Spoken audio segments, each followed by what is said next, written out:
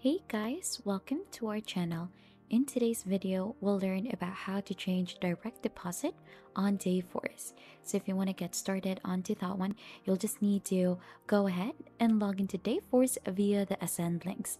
So you'll just need to follow the steps in here and then right after you're logged in and you're already onto Dayforce, you'll just need to go onto the menu tab and select profile and settings. So you need to find the profile and settings in there and then right after that, you should be able to see the forms. So right after clicking onto forms that is under the person personal section, you need to complete and submit the direct deposit form. So new features in Dayforce that must be satisfied before you can submit the form. So you need to take a note of this. The account number must be entered twice and agreement to send supporting documentation to this email in here within 24 hours of update. So this is what you'll actually see. You'll be asked with the routing number, account number, and then you need to re-enter the account number for that, the deposit type, and you need to agree also to send your supporting details onto the email that was stated in here.